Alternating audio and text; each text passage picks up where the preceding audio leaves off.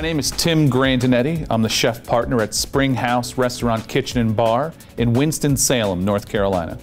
Spring House Restaurant Kitchen and Bar is very unique. It's a, a beautiful restaurant in a restored 100-year-old mansion uh, on the former Millionaires Row in Winston-Salem. It's a seasonally inspired menu, changing four times a year, using fresh, market-driven ingredients and uh, a creative, chef-crafted approach.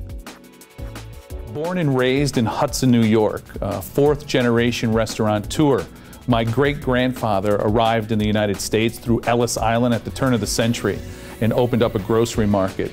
The grocery market turned into a small Italian restaurant. Uh, my cousin and I are still cooking.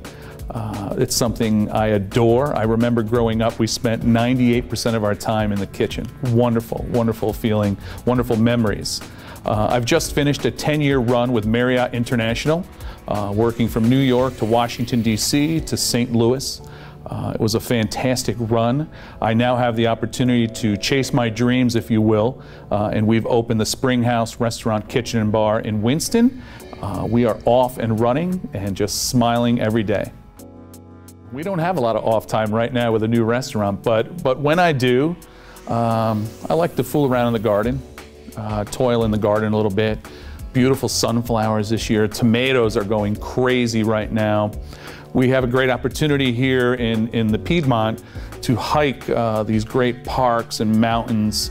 Uh, that's a blast. Uh, went on a canoe trip last week, a great way to unplug. Uh, so I love being outdoors. Uh, I love just spending some quiet time, you know, a little stay vacation on the back deck perhaps, uh, barbecue on a late Sunday night, nothing wrong with that.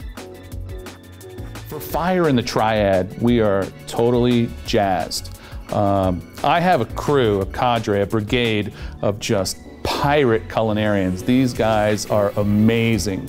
So our, our, our, hard work, I mean, we just, we just like to get into it. So our work ethic combined with our wild creativity, um, I think really gives us an edge. This is a challenge. This is a, a fantastic barometer of where we stand and how far we can go. So uh, Number one, it's fun. This is going to be a rip. But number two, we're here to really showcase Spring House and its cuisine.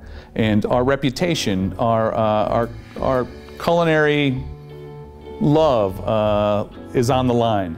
Um, we're, we're going to come at this guns ablazing, knives swinging in the air, deep, soulful food, and, and then we'll, we'll let the diners sort it all out.